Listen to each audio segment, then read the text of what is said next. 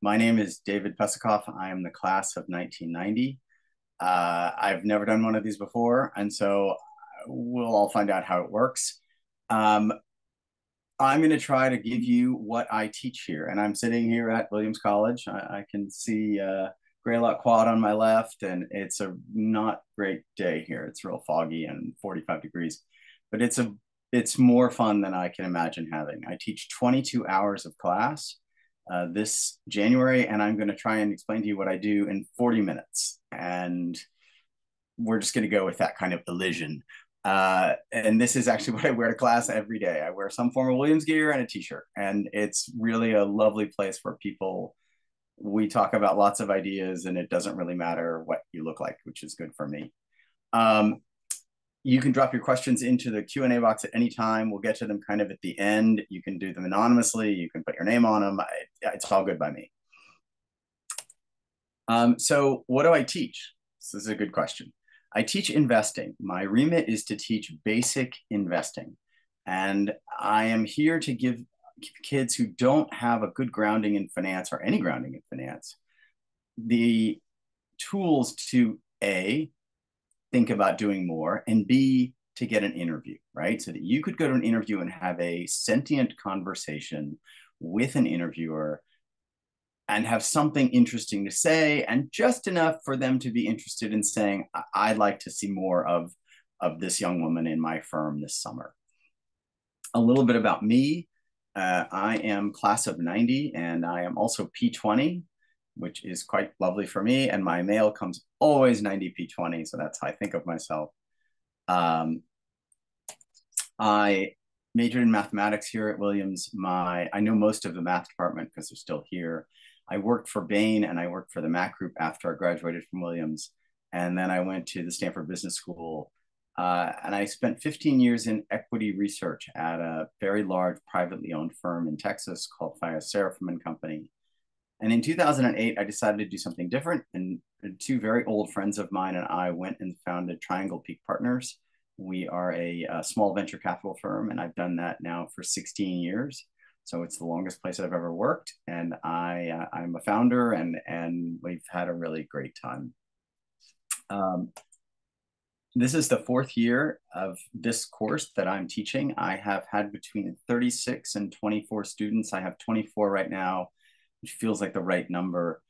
Um, it's a very popular class. This year I had over 61 students apply. And so I'm trying to figure out how to double the class without doubling my workload.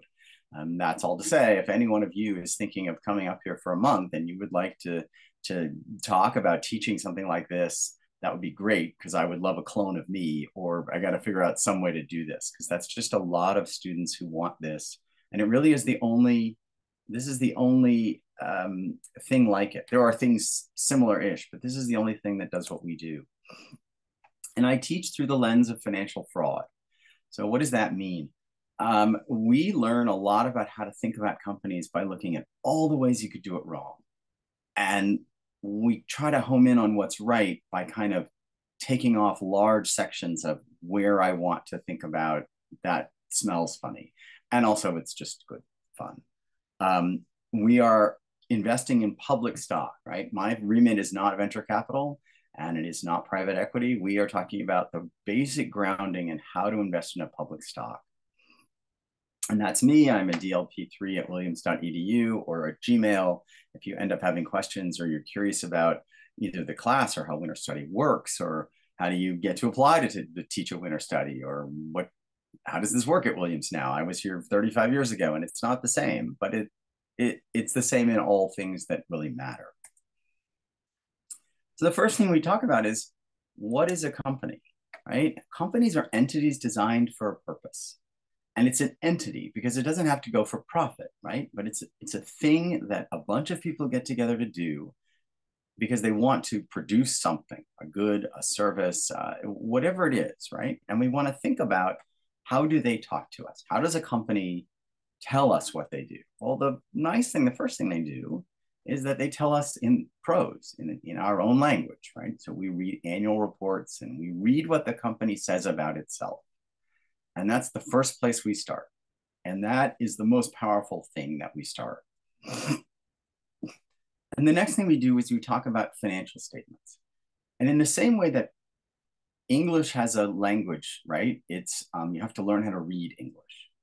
Financial statements have their own language. They have their own syntax. They have grammar. You, have to learn how to read it. And I, uh, I'm learning German at the moment. And one of the things I I, I know about German is uh, the verbs at the end. So you wouldn't say I want to go to the store. You would say I want the store to go to. And your brain has to kind of recalibrate and hold things in different places if you're an English reader, to understand that sentence. Financials are the same way. They talk to us at their own cadence. And we talk about how are we going to translate that financial statement back into English? How do we analyze a business? So the first week, we spend looking at, I teach them some basic analyses. We use a five forces analysis, which is a very old kind of way of thinking about a business. We then look at financial statements. We look at income statements, balance sheets, and cash flow statements, because those are the big three. And we always read the footnotes. The footnotes are where the action is. Everybody will produce income statements. What really matters is definitions. What is revenue? So we talk about the issue of, for example, revenue at a retailer has to include a percent of what you think returns are going to be. What does it mean to be a completed sale? Very simple words can be very complex. And all of that is contained in the footnotes. So I the class culminates in the in the students in groups of four picking a stock. And they pitch a stock and they say, and I tell them, pick something you can understand and pick an annual report less than 100 pages. And they want to know why less than 100 pages. And my answer is because you're ending, you're going to read it you're going to have to read all the footnotes. And that's where the action is. So we talk about how does a business work? How does it represent itself in prose? How does it represent itself in financial statements?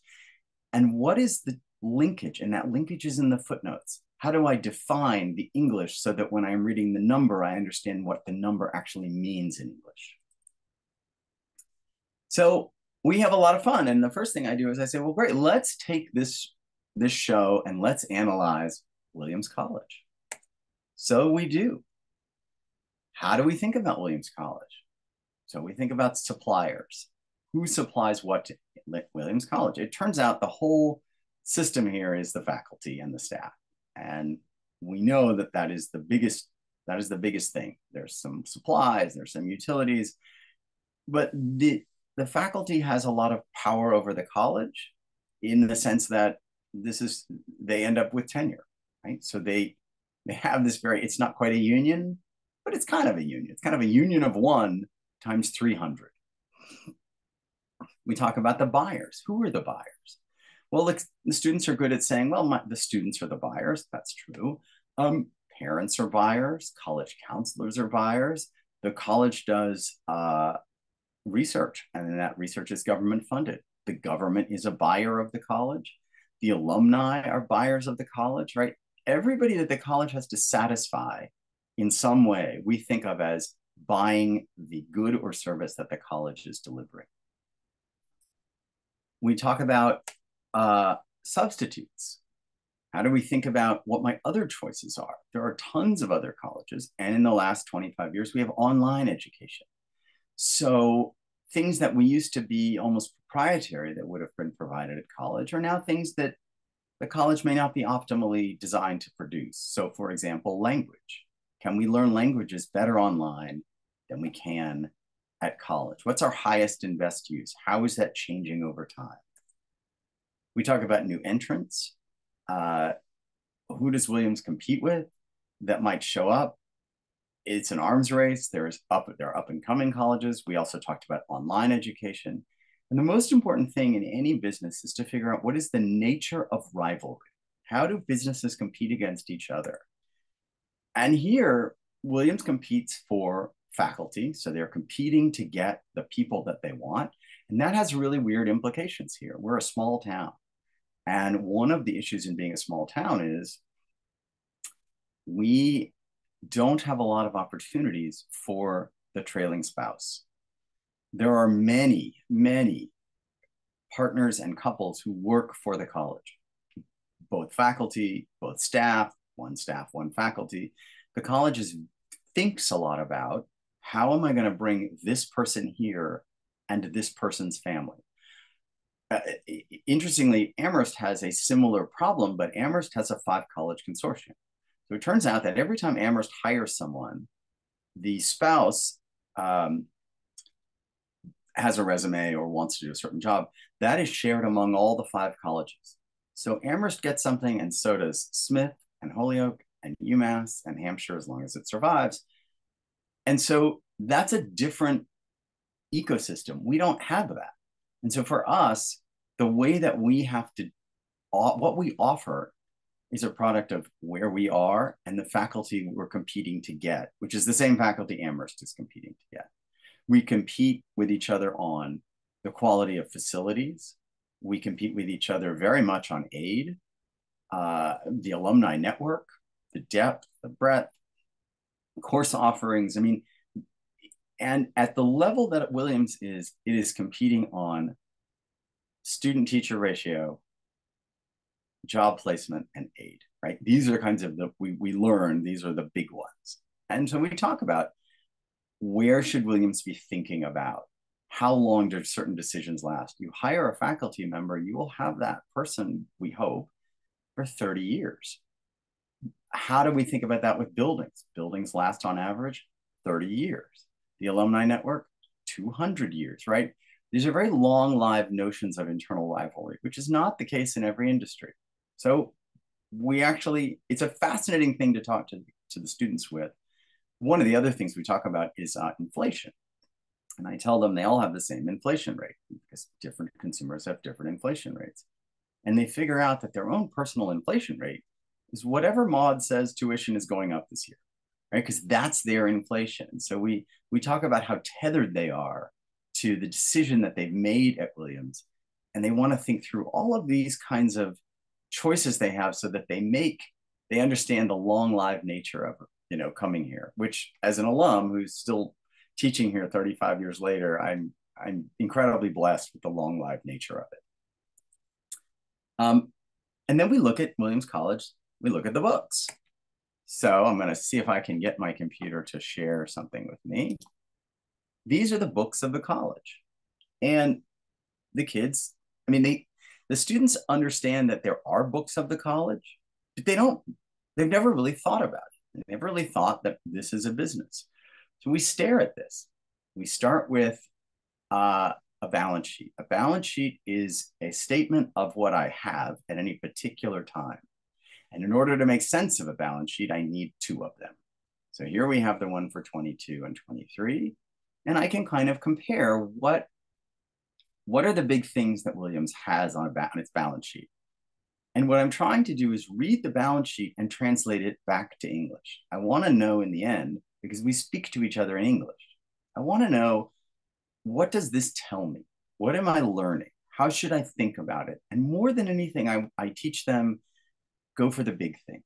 Figure out where to spend your time. We talk about the Pareto principle, the 80 20 rule, right? Which is uh, 80% of my profits come from 20% of my customers. 80% of the value of anything is usually 20% of the time. Spend 20% of your time to find the big things in here and home in on what matters. So, you know, this is kind of funny. We're looking at assets, and, you know, the big deal here is well, it's the endowment. I mean, the entire balance sheet is $4.8 billion, but the endowment is three and a half of that. Oh, and by the way, land and buildings and investments in the physical plant, by the time you and, and we're going to X out the Clark because we'll see why. It turns out the whole balance sheet is physical assets and liquid assets in the endowment. The rest of it is sort of immaterial, right? It just isn't going to move the needle. We go down and look at liabilities. Well, we basically only have one that matters, you can see that the Clark Art Institute is a net. So we have an asset and a liability that match each other. It's a very strange entry. And we talk about why that's on the balance sheet. We are doing something for the Clark. We manage their endowment for them, but it's not our money. And so we have an asset and a liability and they cancel. The big deal that Williams has is bonds, right? We, we've got this $372 million bond outstanding. Other than that, we, we basically have no liabilities. So that's a really interesting thing, right? Is the college, should it be more levered? We talk about like, well, there is no leverage on this business. Should we have leverage? It's, it's not for profit. It's it's a college. It's a you know it's a complicated question. Uh, and then we talk about uh, the income statement. Okay, so the income statement is a record of what I did over a certain period of time. So this income statement is going to tell me what I did over the year. Great. And it's going to tell me, uh, and I won't get into the sort of with and without donor restriction. It's a, it's a somewhat complicated way to read a balance sheet. But it, it's going to tell me what we did uh, over the year. Great. Well, what do we do over the year? Well, it turns out that the college has $300 million of operating revenue. Where did we get the revenue? About 100 million of it came from the from student fees. 150 million of it, actually 160 million of it, came from these two lines that are that say investment gains appropriated and net assets released from restriction. Net assets released from restriction is code for the endowment gave money, right? So that's really interesting. Uh, only a third of our revenue comes from students. Almost 60%, 55% of our money comes from the endowment. And we've got another 7, 8, 10% that's a little bit of gifts and grants, a little bit of special purpose, a little bit of other. But the real money is in the endowment and the student fees. Okay, we understand something about how the firm is, is funded. We talk about what are we spending on? Well, we have a $300 million operating budget. Sales and wages and employee benefits are 160 uh, of that. Well, okay, now I know that 55% of my expenses come from humans, which is what I thought. When I did my analysis of what I thought the business was, it's all high priced labor. So the books are talking to me in the same way that that the language of the college, when it talks to me about what it is, these are matching. And I'm translating back and forth from English to numbers and numbers to English. Um, I have a very large depreciation expense, which makes sense to me because I just read that I have a $700 million plant. In fact, I'm going to learn something about that plant. That plant is actually about a billion one. We, we said earlier, an average building is 30 years. 30 into a billion one is like $37 million. Turns out depreciation is 39 million. This is all footing, right? I, I am looking for things that confirm what I think I understand. It's all making sense to me, right? And these are tiny little checks that we do as we walk through all of these numbers. And then we have some, these are all rounding errors, adjustments for changes in, and, and we walk through them, but we don't really expand. I mean, I'm not here to make them learn every line. Um, so this is our, oh, and this is last year. Okay, so this is, this is sort of, I'm flipping through. Okay, we have cash flow statements. So the cash flow statement's interesting. What did I use to operate the business? And the real big number that shows up is realized change in unrealized gains and losses on investments, or realized, realized and change in unrealized gains, right? So effectively, my cash flow op operating is all about I'm losing my, I'm losing a ton of money. And how do I am I going to make that money? I'm going to make that money from my investments. So the college is telling me what I knew. If the student fees are only 33% and I'm running a $300 million enterprise, I'm losing a ton of money. Where does that money come from? Comes from the endowment. Where does that come in a cash flow statement? A cash flow statement is a very complicated thing. It's divided into sections. We go through the sections of operating, investing, and financing. And this is the kid, the students ask, why is this an investment cash flow and not a financing cash flow? And we go through that, but it turns out the, the, the GAAP rule is if you sell securities to fund your business, well, that's an investing cash flow. So the college lost 120 million in operating. It made up 140 million of that by selling securities. Uh, and then there's a little bit of extra, and then it and sold more than it needed, so it increased in cash. This makes sense to us, right? We read these numbers and we can tell the story. So the narrative flows from what the college tells us and it flows from the books. And we want these things to match. And wherever they don't match, we have questions, right? These are there's something about this that we want to know more. And all of that, all of the fun stuff happens in the footnotes. And I'm going to go through not all of the footnotes because they're not all that interesting, but I am going to go through a couple of the footnotes. So this is the footnote that tells me where we allocated that money from the endowment. So it says that student charges, the face charge was 133 million, or 163 million if we include, include tuition, room, and board, but that students only delivered directly 98 million of that. So of that hundred and something million that the endowment gives the college, 65 million of it kind of came as a transfer from the endowment to students who then give it to the college. That's interesting because it also says, well, there was another you know, $80 million, almost a, or a $95 million the endowment delivered to the college. Where'd that go? That was spread among all of us. In other words, the college is only is spending 300 million, or in fact 260 in cash if we take out depreciation. And so it's only collecting 163 in posted fees. It's kind of giving everybody a discount. So when the college talks to the alumni about the great deal that all the kids get and what what 200 years of generosity has delivered, this is telling us how it's delivering it. It's telling us where it gets allocated, telling us who gets it, who gets it specifically, and who gets it generally. It's all right here. And this is this is, I mean, the kids can begin to really understand about when the college says, well, you're all getting a break.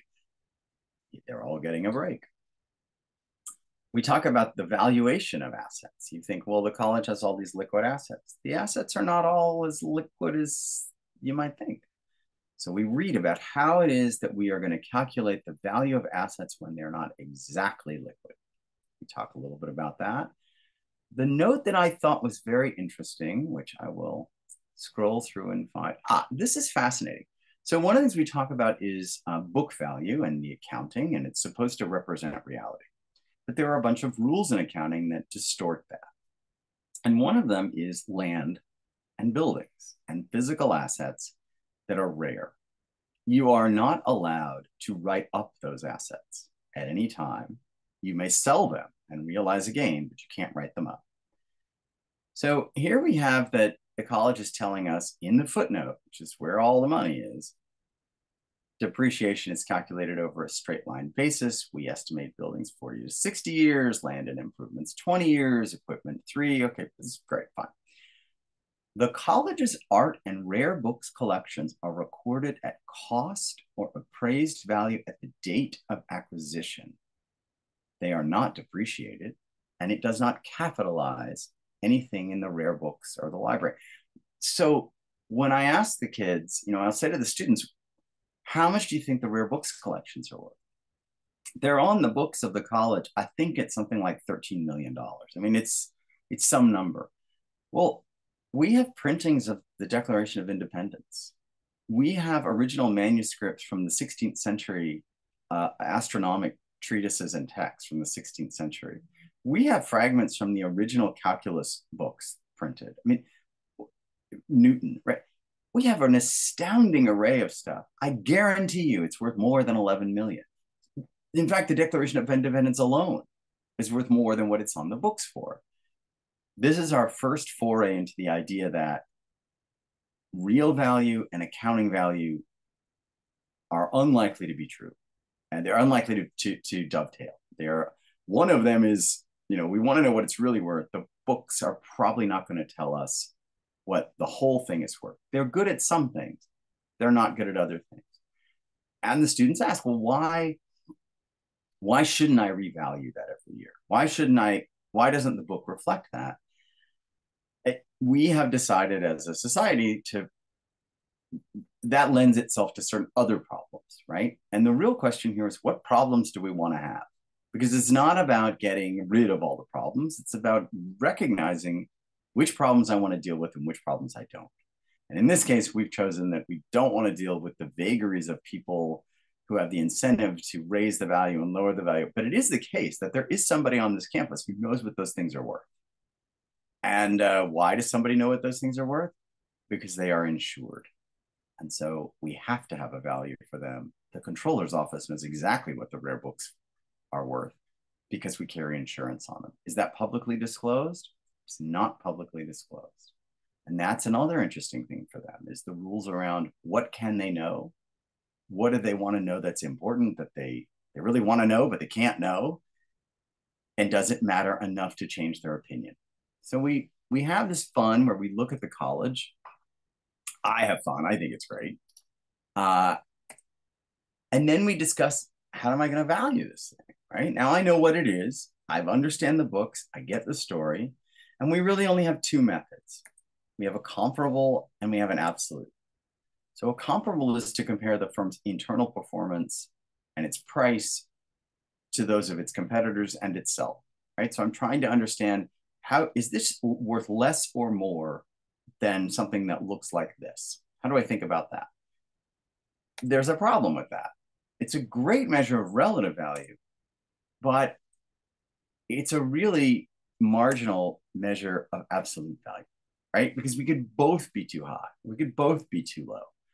But at least in that case, we talk about buying low and selling high. So I, I can arbitrage that difference.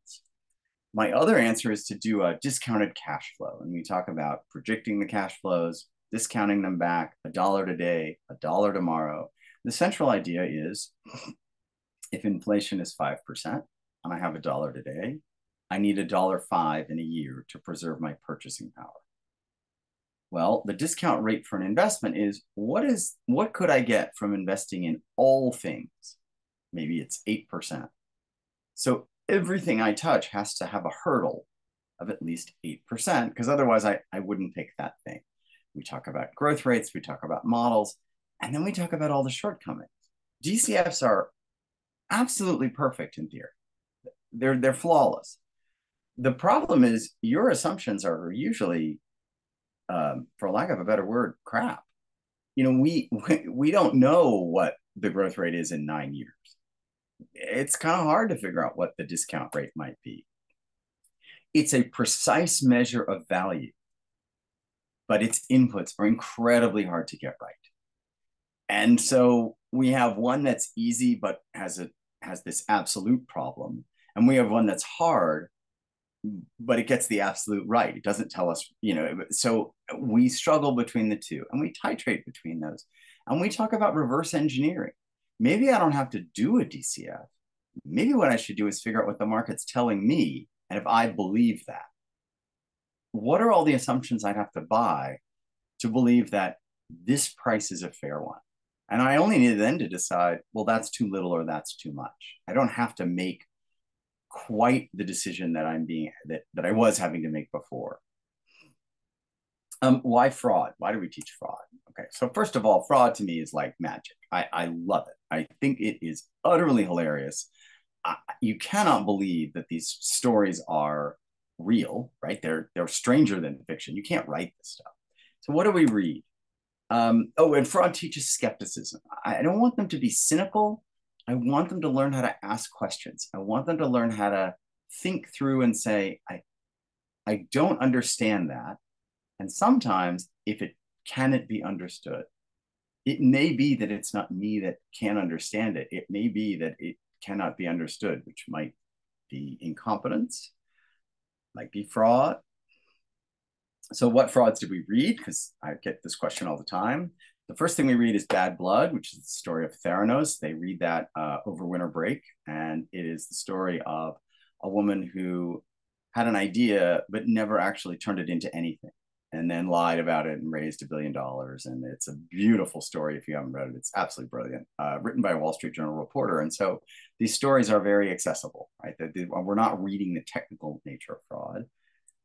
The next book we read is The Smartest Guys in the Room, which is Enron, written by uh, Bethany McLean, class of 92.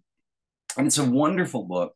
And we read it in the second week because we do our accounting in the second week. And this book is about a great business that wasn't big enough for the people running it and they wanted to do more the problem was the more was just terrible. And in order to make the more look like the original business, they resorted to all kinds of accounting fraud.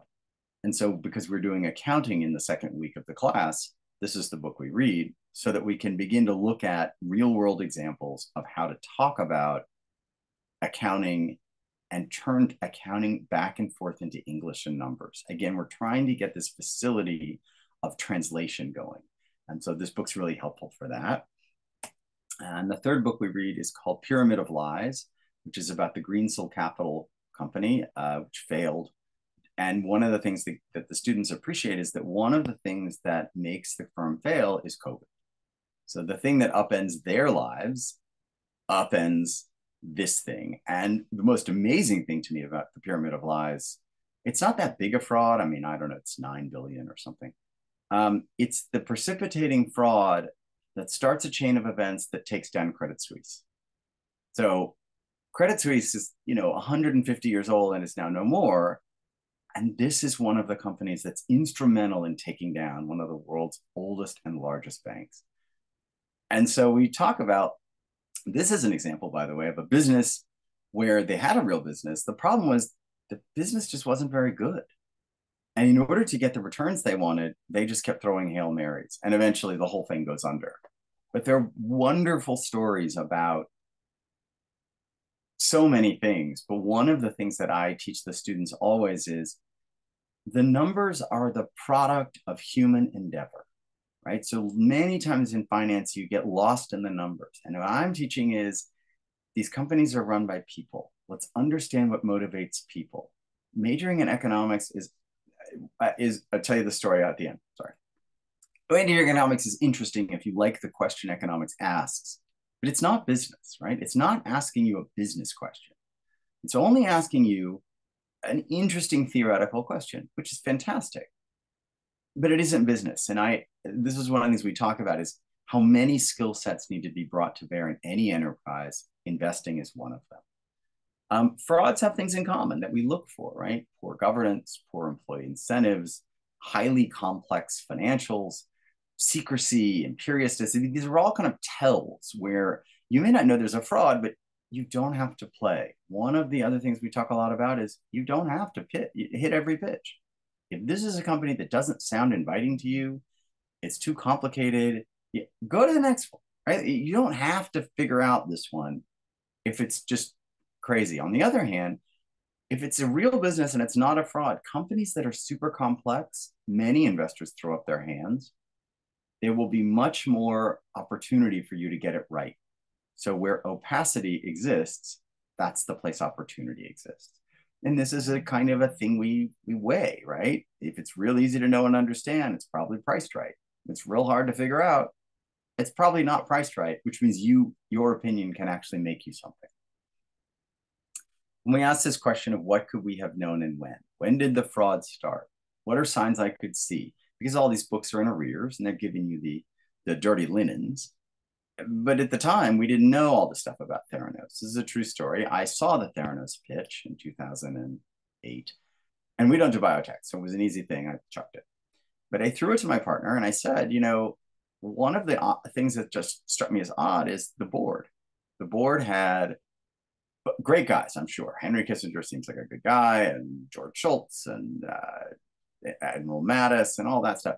Nobody with a biotech degree, nobody with any sense of biotechnical science. You look at the Pfizer board, half the board has some kind of higher degree in science. And in retrospect, that was a real tell, right? She managed that board so that no one could look over her shoulder. I didn't put that together then, but it did strike me as odd. And I kind of point out to them that this is where you're you learn rules of thumb and you have radar, and this is kind of what moves you along. Um, the central conceit of this class then is I ask the students to think, what are you just a bit better at than anybody else? What do you get right 51% of the time? You don't have to be good at everything. And at the end of the class, in groups of four, the students pitch stocks. So I had four today and I'll have two tomorrow. I bring in three celebrity judges, uh, three friends of mine, two are alums, who are uh, one runs a real estate hedge fund, one is a venture lawyer, and one was a Wall Street analyst for 30 years. And they give feedback to the kids. I, I do not. I, I'm done. They this is much better coming from professionals about what they liked, where they thought uh, the analysis was rich, where they thought it might be improved. And one of the things that uh, my friend Chris said today was he majored in economics and geosciences. And I said, well, which one of those two was more helpful for you in being an investor? And he said, geosciences. And I said, okay, so tell me why. I said, well, economics turns out to be about an interesting question, but geosciences is about how to assimilate enormous volumes of data. I'm starting with just huge reams of data and I'm hunting for patterns and, and things that will tell me something that I can draw a conclusion from. He's like, that's frankly what I do. I have more data than I know what to do with. I'm trying to find my signal to noise ratio. And his work in geosciences turns out to be much more helpful, which I thought was incredibly illuminating for the kids, right? Because uh, uh, the, our venture lawyer is an English major, and the Wall Street Journal analyst began life. Uh, he his degree from Harvard is in um, comparative English literature, right? Uh, which you know turns out to be really helpful if you need to read an annual report, any English, your mother tongue, and how to read that. So I asked them, you know, you could be good at trends, you could be great at accounting, your sense of pattern recognition. You have some specific industry knowledge. Last year, I had a, a student who did UGG, the, um, the, the the shoe company, the ugly shoe company, and she was a TikTok fashion influencer, and and she knew, you know, this will work, this will not, that's trending, that's not in a way that nobody else really did, she called it, right? So that could be your thing. You could just understand arbitrage. You could be really good at just doing relative. You don't really know what absolute values are. Any of these are valuable. What are what are you good at? And go with what you're good at. So that's really the end of, of what I have. That's um, that's how I teach. I do this in uh, 11 class sessions. We meet for two hours, three times a week. We read a fraud once a week. We do uh, lots and lots of reading. I am known for an enormous amount of reading at the beginning. And in the second two weeks, the students are on their own. They do presentations. They are preparing. They pre- and they present to us twice in the third week, kind of in little bits. We're getting them used to what a presentation looks like. They have five minutes to do a little piece of it. Uh, and then this week they have a half an hour and they they present and they get feedback. And at the end of class, we will vote. So there is a real fund. An alum donated hundred thousand dollars that we will that we manage, and um, at the end of class, the students will vote on what they want to buy or sell or nothing or whatever. And that will go to a, a group called WIG, the Williams Investment Group. And all the students who've been through my class are invited to join WIG if they want. And that group will spend the next year managing this $100,000 and investing and selling and buying and seeing what happens. And uh, it, it's fantastic. I've, I've now got four new students. They change in the calendar year because they change at winter study. And there are a few dozen kids in there and they are managing a real fund and it's teaching them a host of things about you know as what justin said to me well, this was a lot more fun when the market was just going up.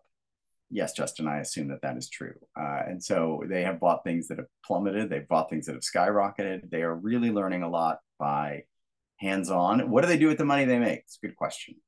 They donate their winnings to the college and they get to pick what they want to donate. In fact, they're allowed to donate to anything in Williamstown which benefits the college. So donating to the local food pantry college is great with that. The local elementary school, whatever it is, and we've made something. So they have done that.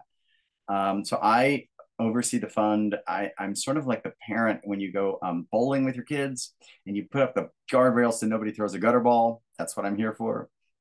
Other than that, and, and by that I mean we don't have sin stocks. We don't have, there's some things we can't own. But after that, they can buy things that I would think are not bright, but that's not my remit. Um, and so we we they meet every Monday, and I I sort of I meet with them on Zoom, and we talk about what I'm just there to help. I provide research reports if I can. I kind I'm just sort of the adult in the room. Um, and then it all rolls around next year. So I have had more than, uh, well, I had almost 100 students go through my class. Um, as I say, it's very popular. Winter Study here is full of the most amazing classes that I have gotten to sit in on. And if anyone is interested in doing one of these, I'm happy to talk to you about the process. You can teach almost anything you want. My only advice is teach something you love. I really love teaching this. I have the time of my life and I love teaching fraud. And I think we're having a good time, but uh, you could, if anybody knows some of the students, you can ask them yourself. I think I'm I'm pretty much on time because it's 3:42, and Layla's probably going to help me with questions because I think there might be some, and I'm not quite sure how to access them, but I'm going to do my best. Thank you so much, David. I the quote of the day, I love fraud. I love that. Thank you for a really riveting pre presentation. Um, we do have a number of questions in the queue here.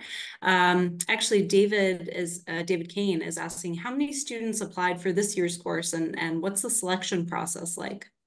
So uh, I teach between I, I have tried to home in on the right number and I I 24 is like my happy place um, 20 was my happy place, but I got shoved into 24 because I, I, I've learned that teams of four are the right size. Teams of five didn't work well. So the delimiter becomes teams of four. I can have six pitches in my final two days to give them enough time. I have 24. I had 61 kids apply. I have always been oversubscribed at least double. And that is really, uh, you know, hey, that feels great to me but I don't think it's a good outcome. I mean, I, I am trying to figure out a way to get 48 kids next year so that, because uh, I feel like if that's what you want, then we should respond to demand. How do they get in? Um, if you applied before and you didn't get in, you move to the top of the list. I I asked them to write a 50 word statement on why do you want to take this class and how much about finance do you know? Because I'm I'm more targeted to kids who know less, not exclusively, But if you grew up in a family where your mom worked for a Citigroup for 20 years, that's different than uh, you know. I have some students who grew up in a family restaurant, right? They know they know zilch. So I'm here to get you off the ground, and so I I do that, and I'm very careful to try and choose uh, an equal number of men and women. Uh, it's really important for me to provide um, role models and guest speakers and to show them that you know they are going to be what banking will look like. And so I want them all to have, I want them all to have that shot. As an interesting experiment, which they do not know, I mix the teams up so that some are all men and some are all women and some are half and some, and then at the end we ask, did anyone notice dynamics in groups where there were different numbers of men and women? And sometimes they do, and sometimes they don't, but when they do, it's really interesting. Thank you. That's really interesting. Um, a few more questions about the course itself, and then some people have questions um, about the subject matter. So Karen's asking, could you give us an example of one of the best presentations the students have done for you in the past? Yeah, I mean, it's funny. They're doing them today. And so I we've been through four of them today. Um, there are pieces of each one that you know you watch light bulbs go off. Uh, today we did um, one of the groups did celsius. I've never had celsius. I i, I mean it felt like a you know curmudgeon but celsius is um it's basically an energy drink but it's marketed as a health thing right? So it's got lots of other additives in it and the kids love it. I mean i you, it's unbelievable. And their question was it's priced so high right? It's just an incredibly expensive stock. You have to believe so much growth. Like do you really believe it's going to be there? And and I, you know they figured out that what they needed to do was go look at Monster. When Monster was this size, what happened to Monster? Is it possible to grow in a way that they want? Do we have models for that? This whole learning of how do we learn from history? How do we think about models? Where do they model correctly for us? And where do we have to make adjustments? And they went and looked at Monster and they, they convinced themselves that this was Monster Plus. And so they became very comfortable with the price given what they think growth is going to be um, from the point because they looked at Monster when it was a billion and you know they were a billion and that was actually quite quite brilliant today. Um, I have another group that did a lovely job of unitizing. We talk a lot about unitizing. We want to understand the economics of any business in terms of what what's the driving thing. So, for example, in in Celsius, is it number of cans? And is my goal to sell more cans, or am I making more per can? What what is my driver here? And this is just fun with fractions. This is like seventh grade algebra. Um, so I, I, we're going to have presentations tomorrow on MillerKnoll. I don't know anything about office furniture, but I'm going to learn a lot. And we're going to have, oh Live Nation tomorrow, which has been really fascinating because that is a how do I think about COVID? H- how do I unpack COVID from what happened? And frankly, in Live Nation, it's I doubt that Taylor Swift is going to do another billion dollar tour next year how does that impact the number that I'm staring at when I have this kind of crazy event year of this this in effect bubble? Um, but the kids are really they're very thoughtful. I mean, they they they really do think a lot of. One group came in today with a short. Vail Resorts. They don't like it. Uh, they're they don't like climate change. The pricing's too high. I mean, fine you know that was that was great so th- these are all examples of the kinds of stocks that they pick and then and then pitch amazing um we have a couple of questions about the the use of AI and um, the use of AI in helping choose and monitor investments and also as a tool that can be used for fraud. Do you discuss that? Um, and are financial reports required to be presented in a common format for ease of analysis? Yeah, so these are this is a great question. Um, one of my students is now going to Dimensional Fund Advisors. DFA is among the largest uh, fund management firms in the world, and it's basically an AI deal. They are all indexes with a twist, and the way that you figure it out, what twist you want, is you apply the way you used to apply brute strength analytics. Right, you, you just need a big computer with a big chip so that you can run millions of calculations but lately, if you ask AI to, what AI is really good at is sensing patterns that humans can't see. Um, and so you're asking it to look for patterns, and sometimes it comes up with good ones. Sometimes it comes up with nonsensical ones, right? Sometimes there isn't, you know, but it's really good at it. What's really bad, humans are bad. We we project patterns onto things and AI doesn't. It will actually define if it's really there. And we define if it's really there in statistical terms. It, we use confidence intervals, we use measures of mean and standard deviation to tell the computer if you find something that correlates with something else and it correlates beyond this level of, of confidence, that we define as a pattern humans are terrible at finding those kinds of patterns, especially in enormous data sets. So that's a firm that uses AI sort of routinely to produce better outcomes. But everybody has access to the same AI. So it's actually in the design of the looking.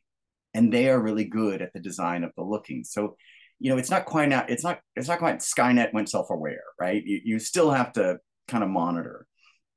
Um, one of the other things we talk about is uh, Benford's law, and this is a fascinating little piece of of we use AI for it now, but Benford's law is this wonderful example, and I I'm going to say something three times because it's a complicated idea. We have a notion of randomness, right? There is an entire class here, which is probability. It's 301. It's a fantastic class. Mihai Stoiciu is the nicest and finest professor the college has. Audit the class. Awesome. Um, the whole class is designed around to ask you the question, what is randomness? What does it mean to be random? Because random does not have to mean uniform.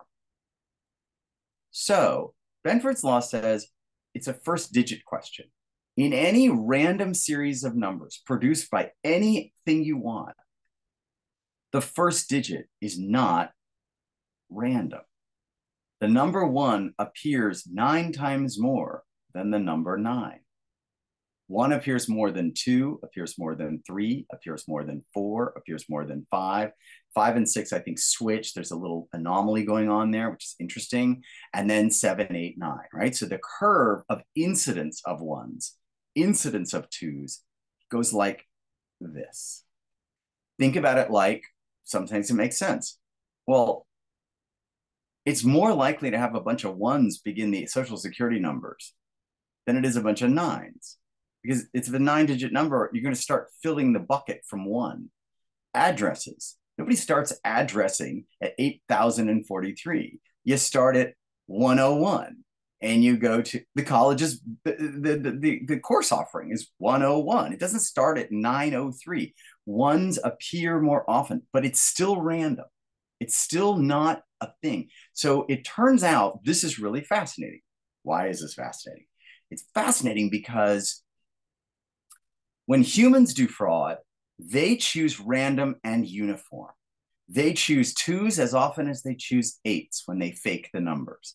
But we know that ones appear more than nines. So now you can ask a computer with that sense of AI and Benford's law to look for fraud because you should see this, this pattern, which is random but not uniform.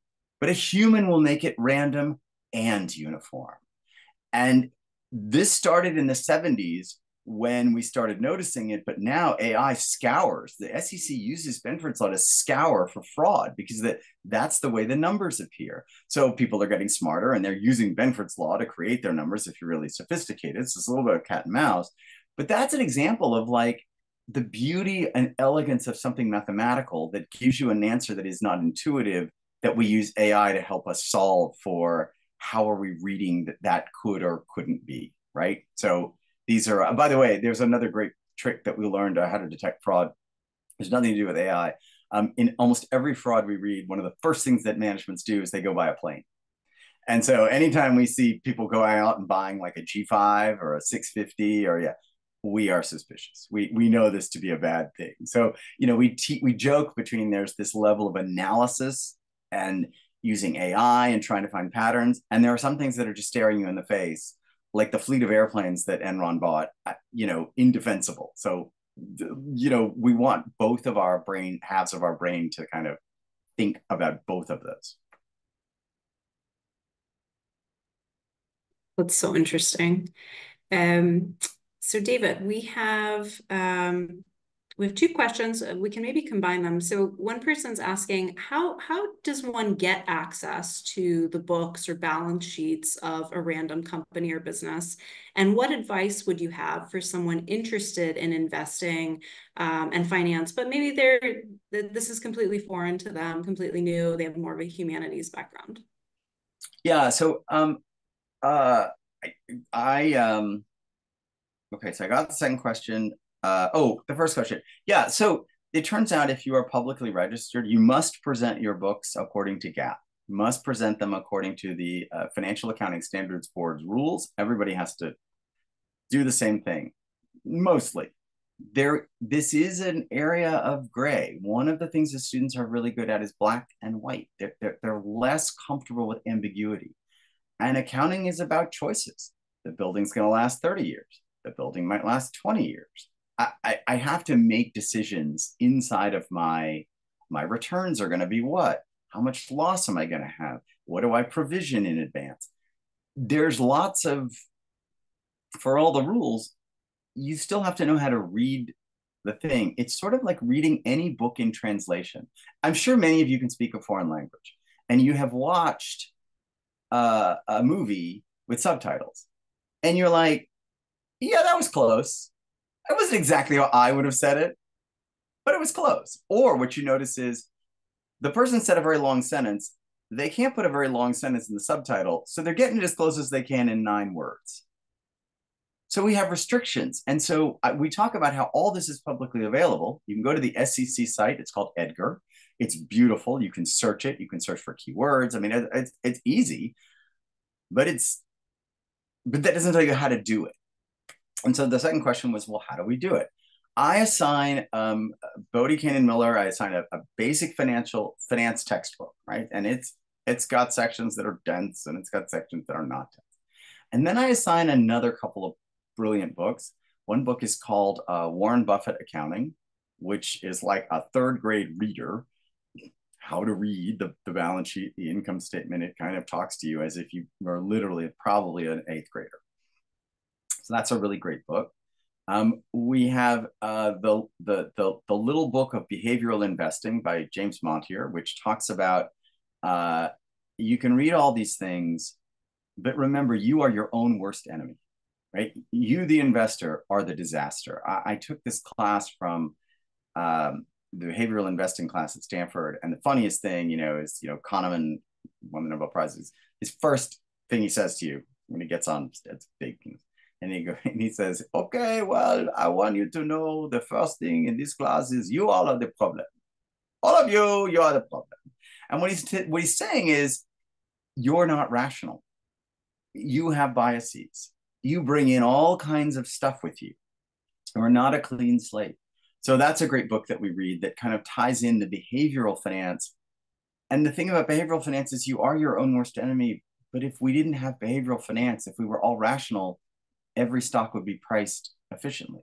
And we know that everything isn't priced efficiently. And the reason is because we're not rational. So we talk a lot about the, from the textbooks. We have a textbook that's a Bodie Cannon Miller. It's a it's a they're on it. I don't know edition 15. We read the 13th one because I'm cheap and I have them buy an older copy because there's not anything new under the sun and it's cheaper. Um, I have them read this Warren Buffett book, and I have them read a fantastic book, which I will put in a plug for, um, which is called Financial Shenanigans, and it's by Howard Schilit. And you can get it on Amazon, you can Kindle it.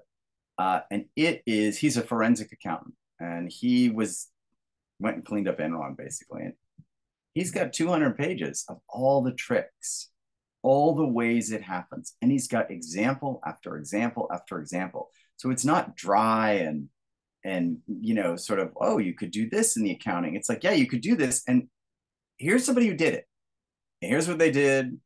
Here's the jail cell they're in now and this is how long it lasted and it's absolutely a brilliant book. So i have the kids read both books that are technical books that explain it in english books that explain um, uh, behavioral in english and books that talk about fraud and it turns out after today i get my feedback Howard Schilit's their favorite book because it it's the concrete example of all the things they have been learning.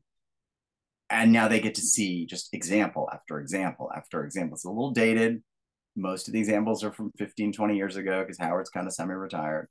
Um, but i that's great. And i'm happy Leila, if, if if you want i'm happy to share my syllabus um, you know with you if that's something that that people want access to. Um, yeah, I mean, it's a one pager. It tells you what chapters we read, what books we read, all my reading list, and my um, uh, supplement. And the last book I would put in a plug for is a book called Thinking Fast and Slow, which is Kahneman's book about how we make these rational decisions and how we can we can't guard against them, but we can be aware of the kinds of choices that we're making. So there's there you go. That's terrific. Thank you so much, David. We do have people in the chat saying they would love the syllabus. So we will send that out in a post-event email. Um, we have somehow reached the end of our time. I feel like that hour flew by. It was so interesting. And I know I learned a lot and our alums in the audience did as well. Um, but a big round of applause for, for David here from the Purple Valley. Um, and we will be in touch with more resources so you can continue your learning. Uh, and I know there were a number of questions we just didn't have time to get to in the Q&A. We've copied them and we will share them with David and um, hopefully can get some of those um, questions answered. But thank you so much. And uh, until next time, until next Alumni Winter Study, take care.